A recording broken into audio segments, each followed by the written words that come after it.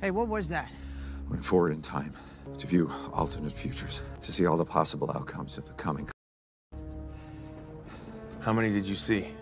14,605. How many did we win?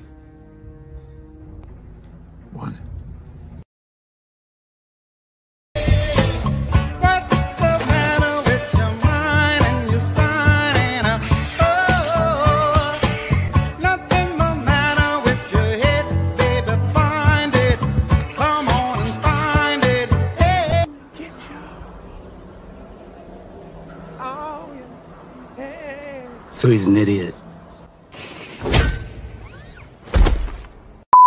On the roof!